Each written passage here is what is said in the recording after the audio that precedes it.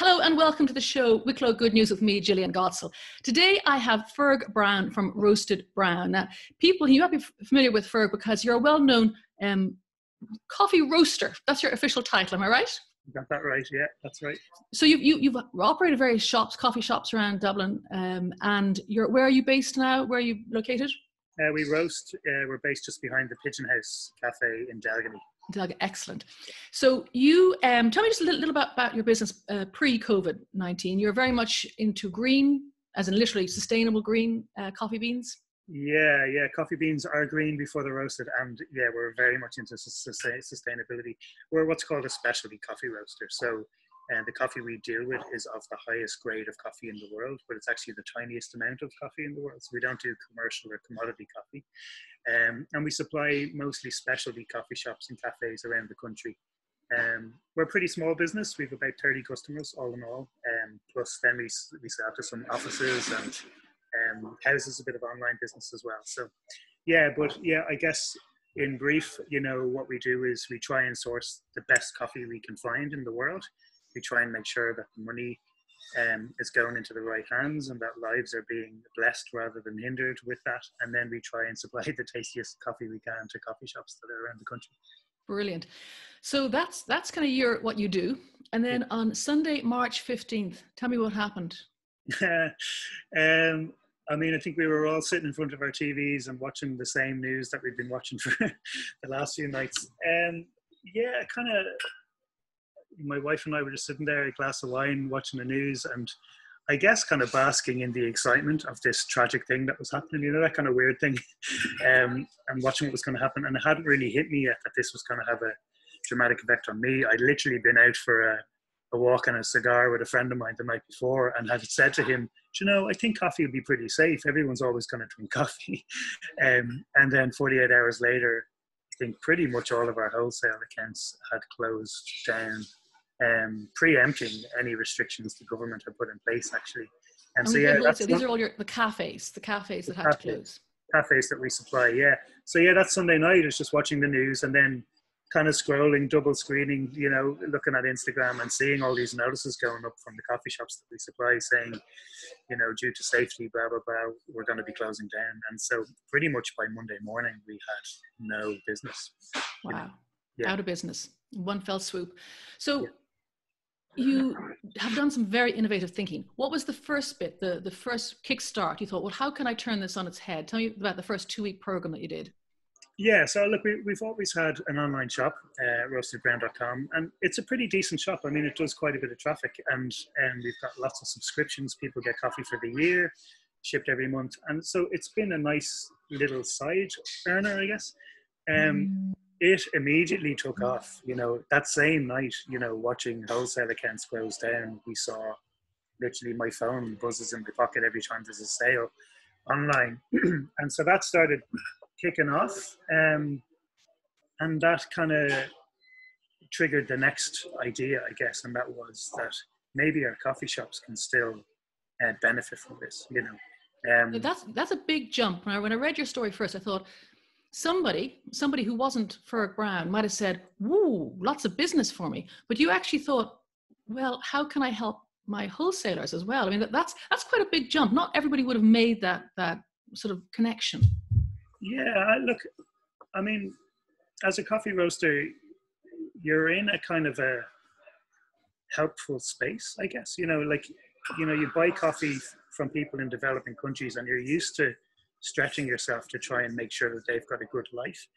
And so that, that kind of mentality is always a part of a specialty coffee roasters process anyways. Are we looking after people? Are our business relationships with those people benefiting their lives, you know?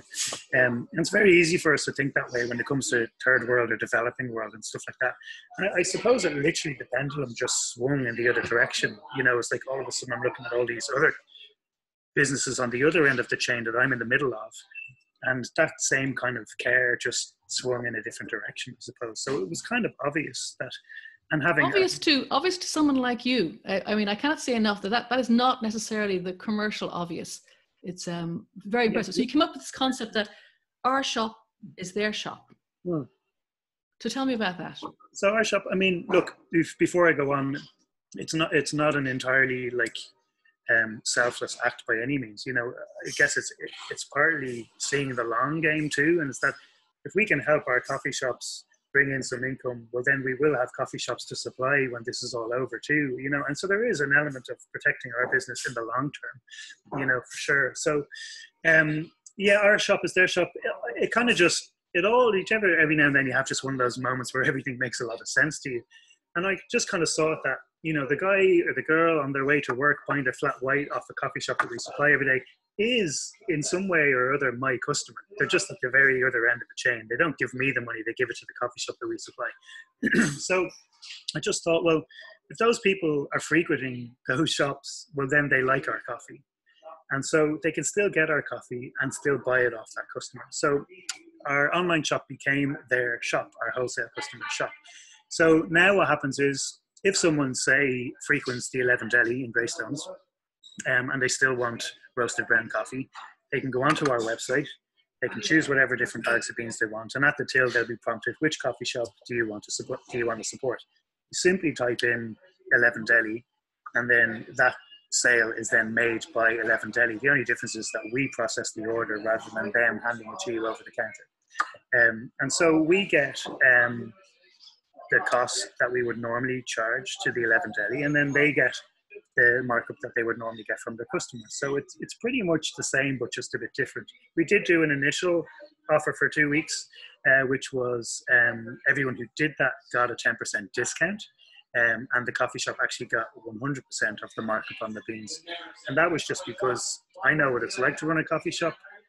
I know it's hard to succeed on the best of days, and I really wanted to do something that would say, look, here's an injection of money that will take the sting out of this until we all kind of get our whereabouts over the next two weeks. So it's and it's, it's, interesting too as well because you're saying you're doing this as the, the long game, which is cool. And what's happening now is that the different coffee shops they're promoting this concept, and you see as they promote it from their social media, people who can't go through their doors they you see extra extra sales coming through on the on your site and then they get paid. So it's it's a fantastic it's clever clever clever and and also and also that the consumer does well because they end up with it doesn't cost them as much if they had to buy. I'm obviously nice to have a latte handed to you but the beans are slightly less expensive because uh, you're not you're not doing huge markups or gouging them or anything like that. So it's better value for them it is value for them because you know if you buy a bag of beans for home and you're making a week's supply of coffee out of that, that's a lot cheaper than buying a coffee in a coffee shop every day.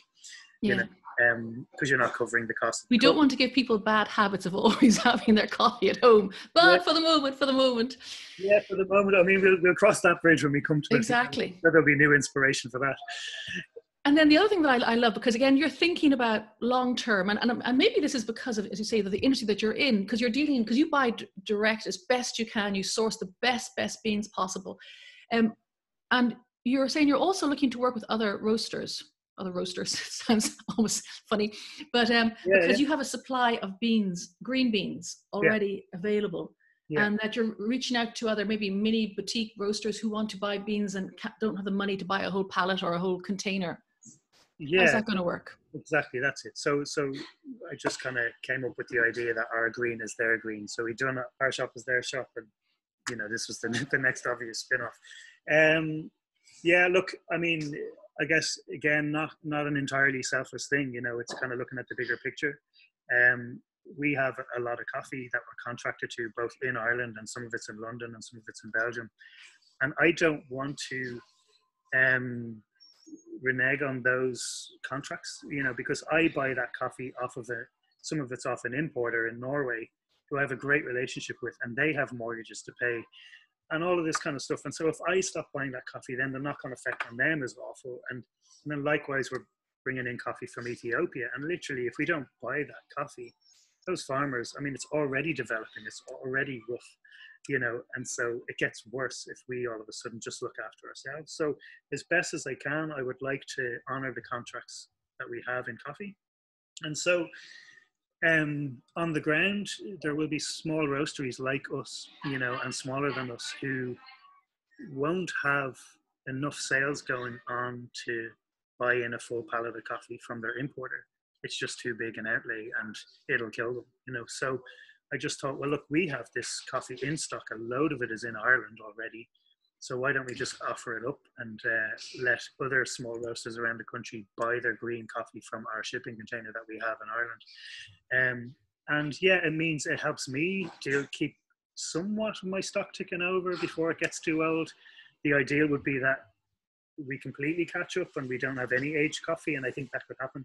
And then that they can kind of do some low risk green bean purchasing and just buy one sack at a time and roast it and sell it, and it's not going to kill them. They'll actually take over as a business until. Wow. Yeah. I love it. It's innovative. I can't wait to, for your next innovation. So we have our shop is their shop, our green is their green. Will you come back and tell us what your next idea is? Because it's, it's going to be good. I can tell. I have some ideas. I do have some ideas. I mean, I think we have to come out of a season like this with a bit of change, you know, um, and some changes we want and some changes we don't want, you know. Um, but I'm starting to think of, you know, what are the changes we can make? How can we? Uh, do you know what the great thing about this was? Uh, and Johnny, my coffee roaster, articulated this the other day. Um, is that we're every every two weeks as a staff, we meet at the roastery and we say, okay, how can we make sure that our hope that the cafes we supply know we appreciate them, you know? And sometimes we send them out a box of donuts or you know something, you know that type of thing, just to let them know, look, we value your business, you know, or if it's just call outs or whatever. Um, and this was a really our shop is their shop was a really cool way of saying, look, we really appreciate your loyalty to us over the years. And um, this is what we're willing to do to show you that, you know. And it was a great way of just blanket showing all of our customers that look, we really value your business, um, and we want to keep you in it, you know. So I think I want to. I think there's probably I have some ideas of how we can kind of maintain this into post COVID nineteen, you know, but I won't say too much about it then. No, no, no. When you have when you have the next idea, come yeah. and tell us. We'll save it. I mean, we have two already. Our shop is their shop, and our green is their green. That's two great campaigns. Thinking outside the box. So if people want to go uh, to your website, what is the address of the website? It's roastedbrown.com.